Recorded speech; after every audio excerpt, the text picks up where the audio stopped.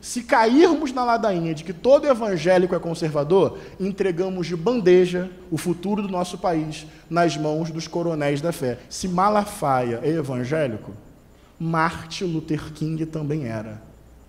Ou seja, achar que são todos iguais, caretas, fascistoides, que estão prontos a dominar o Brasil, é não reconhecer que tem disputa dentro do segmento evangélico e que, querendo ou não querendo, não depende da nossa vontade intelectual e militante. Esse campo é majoritariamente pobre, negro, periférico, favelado e trabalhador. Do ponto de vista cristão, falo como teólogo cristão, o fundamentalismo tem três pontos fundamentais que vão tocar diretamente na pauta política, de gênero e de sexualidade. Ponto fundamental do fundamentalismo, brincando intencionalmente com as palavras.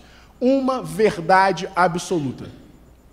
Na teologia cristã tem um conceito fundamental chamado revelação. Como Deus se dá a conhecer por nós.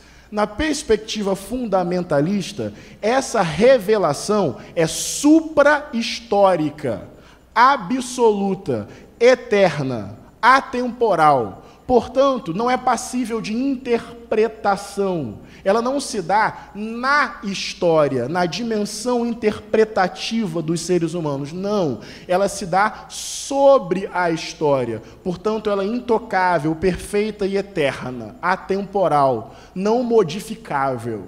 Essa verdade absoluta aparece numa segunda característica do fundamentalismo religioso, o literalismo bíblico. Ou seja, essa verdade aparece num texto tal, o famoso está escrito. Ponto. Eu já perdi vários pseudo-diálogos quando eu falava sobre determinado tema e alguém dizia assim: não, você está errado, porque em Levítico capítulo 2, verso 13 diz isso. Depois do está escrito, havia um bloqueio para qualquer tipo de diálogo, porque a noção de corpo, de sexualidade, de família, de vida, de sociedade está naquele texto ali. Mas esse texto está sem contexto, está isolado de um panorama histórico e aparece como uma verdade absoluta que é inquestionável. Portanto, o fundamentalismo se pauta numa verdade absoluta que aparece objetivada numa letra, num texto. Isso leva ao terceiro ponto, que me encaminha para o final quase da minha fala. Eu tenho o quê? Cerca de 20 a 30 minutos ainda? Dois? Três? Quatro? Vamos ao milagre, já que é religião. Que é o seguinte, me empolguei. É o seguinte, é, essa verdade absoluta que aparece num texto está associada a uma espécie de idealização do passado. A perspectiva fundamentalista tem mais ou menos assim: tem um antigamente que está sendo perdido.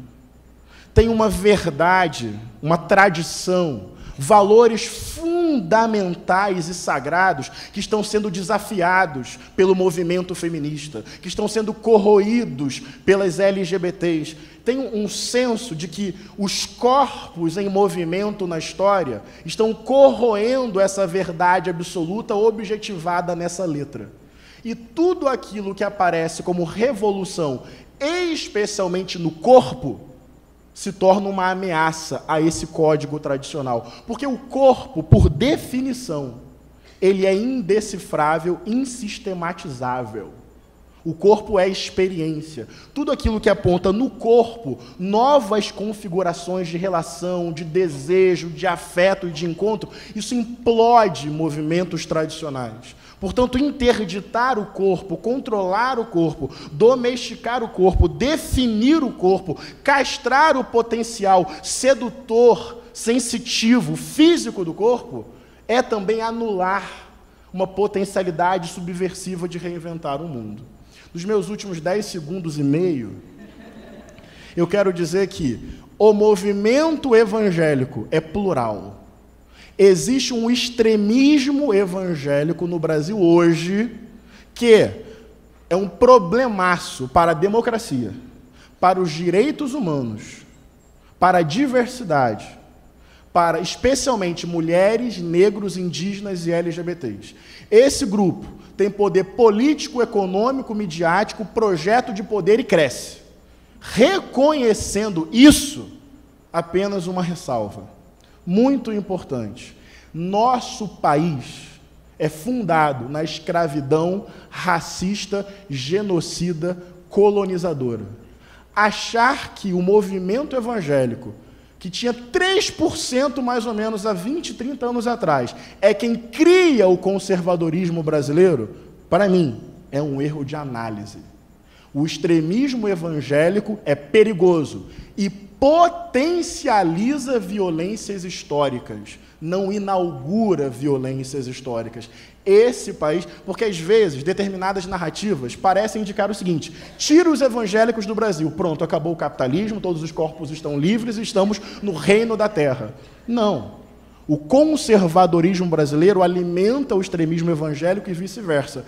Mas não, não há um monopólio do movimento evangélico sobre o conservadorismo brasileiro. A última ressalva é: se Malafaia é evangélico, Martin Luther King também era. Ou seja, achar que são todos iguais, caretas, fascistoides, que estão prontos a dominar o Brasil, é não reconhecer que tem disputa dentro do segmento evangélico e que, querendo ou não querendo, não depende da nossa vontade intelectual e militante. Esse campo é majoritariamente pobre, negro, periférico, favelado e trabalhador. Ou nós somos uma ameaça contundente, e eu defendo que sejamos, sabendo dialogar com estas pessoas, evangélicas e não, porque preconceito e bloqueio vai ter em tudo quanto é canto. Ou traduzimos isso num diálogo com o povo, ou enterramos de vez a nossa frágil, racista e elitista democracia. Porque, na real, nem acredito em democracia real dentro do capitalismo. Mas eu quero dizer o seguinte: se cairmos na ladainha de que todo evangélico é conservador, entregamos de bandeja o futuro do nosso país nas mãos dos coronéis da fé. É dessa armadilha que nós temos que sair. Verdade, eu não gosto de ser citado como, digamos assim, uma exceção. Em alguns lugares, até como um ser exótico. Na verdade, tem quase nada de novo que eu estou falando eu gosto de dar visibilidade a um campo cristão progressista popular.